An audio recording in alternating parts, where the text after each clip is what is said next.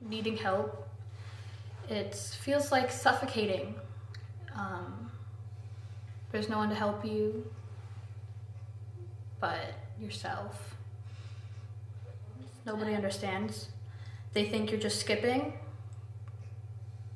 but you're not. Um, needing help is very frustrating because when you don't think you deserve the help, you don't get it, even if you really need it. Because there's not very many people who are willing to openly share how they feel. So once you start to realize how you feel, it can make you feel different.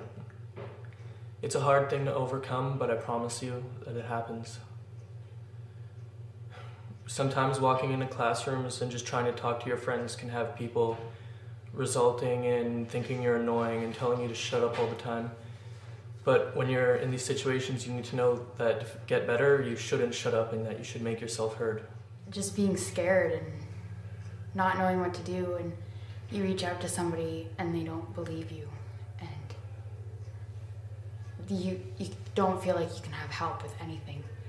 You just feel so alone and helpless, and that's scary for someone who doesn't really feel like they can talk to their mom or their dad or anybody who just feels like they're not normal. When you need help, you feel useless because you can't help yourself. You feel like maybe there isn't anybody to help you because you're not sure. Well, you try to find it. You know, if now opportunity knocks at your door, you're supposed to take it, not shove it away. It is tough to get help. Uh, you have to have the bravery, I guess, for lack of a better word, to go get your help. And then if you can't find it there, you're to have to go look somewhere else or whatever. It is really hard for youth today to get the help they need, like with the mental health. You know, the Y does a good job to supply it to people, but not a lot of people are able to uh, get the help that they need. So it's really uh, costing the youth of today. Some kids just don't have like like I said, they just don't have the the know how or even just the like the bravery to even tell other people what they're feeling. You know, they might get, think they're going to get made fun of or just think other people think of them as a joke or something. But they really just need to go and get that help that they need.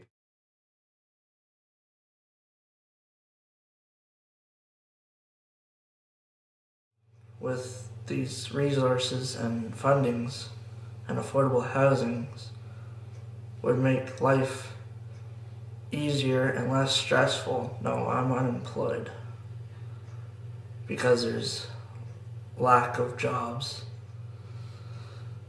Stressful. Upsetting some days.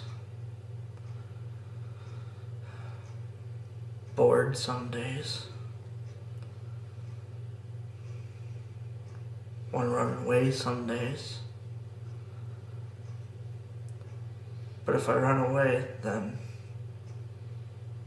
the problems don't get solved. There needs to be less of a stigma towards people with eating disorders because it's not just uh, a disorder for teenage girls, it affects men and it affects adults. Like when I was in treatment, I met women who were in their 50s it affects everybody and it needs to be addressed because it's like a life-threatening thing and it sucks and it, it needs to be fixed like really really soon i think. I lost all my friends. They weren't there for me and basically they were the ones who put me down the path that i didn't really want to be in. It wasn't me. I feel so ashamed of what i did to my parents I think about it every single day. And to pick friends over family, that's just, I think that's the worst sin you can ever do. I needed help with my situation on just getting my life on track, I guess. Like I'm 18 and I, you know, I wanted to, to be have, I wanted to figure out what I wanted to do with my life because I found I wasn't going anywhere. So I wanted to figure out what I wanted to do and what I wanted to do, which is what Youth Quest helped me do, which is find the career that I wanted to have, which is the cafe. So now I work in a cafe and I love it. I love baking. It's so much fun. It's a lot. And I like serving people. I like seeing people leave with a smile on their face. So that's a good thing. I like positive.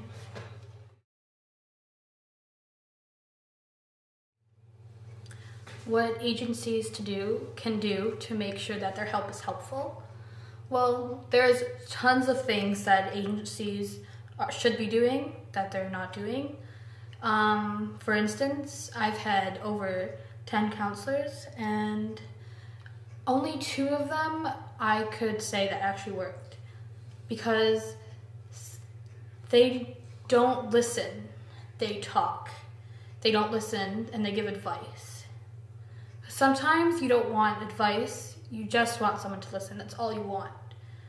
Because advice, it can make you feel more stressed because you can't do what they're asking you to do. Um, they could make more media um, and commercials, and they can add more um, mental health issues in television and ways that they can overcome their mental illnesses in television. And there's just so much that agencies can do to make this world a better place and to make people a lot more happier. But in the end, they just care about money. But I think people who do try to help, I think they just have to have a better understanding on who the person really is and what they're actually going through. I saw a counselor, like, she, she has this relation with me and that she can really relate to me, and that was really, really important to me. I know when I needed help, you know, I've had my own my own stuff happen, you know.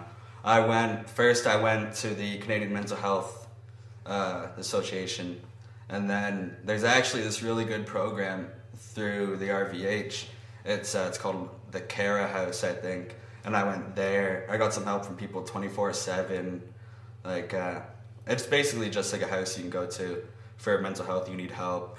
You know, they'll go there if you need to talk at three in the morning. There's someone always up to talk to you, stuff like that. You know, they they do have really good. They do have some really good programs to get the help. Well, there's a lot of different ways. I mean, uh, like even just like if they're in high school or whatever, you know, I'm sure they've got guidance counselors at school, teachers, their parents. I'm sure would, their parents would probably go through anything, any kind of lengths to get them the help that they need. I know there's some specific cases where that's not the case, but for the most part, your parents should probably have a good idea. Um, even just people that you trust too, like your friends, even their family, maybe. I had neighbors. I know I've had really good neighbors over a couple years that I was able to talk to and get help from them. So it was good.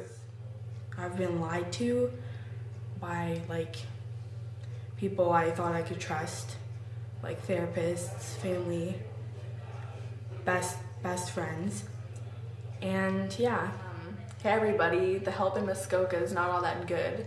It's actually kind of more like shit because um, there's not all too much of a wide variety, and it's more stereotypically based and judgmental, and they don't really seem to get what it is that we need. Okay, so I feel that we need to have more resources for the people of Simcoe County um, for the means of people with eating disorders who are over the age of 18. Because I know I, for myself, um, I had to be on a waiting list for probably almost more than a year to go to a place in Toronto because we don't have any support here really. Um, and I really feel like that's a really big deal and it needs to be addressed. Because I know that I have to have a routine in order for me to like really like know what I have to do in order to like get better because I never had a routine growing up and I sort of fell out of place in life. And know that I have a routine, I'm going to school and I'm getting credits and I'm really proud of myself. And yeah. That wasn't much of a rant, but it made me feel better. I mean, yes, like I said, you do need help, and it kind of does suck needing help, but when the help comes, you feel relieved, like the whole world's just brought off your shoulders.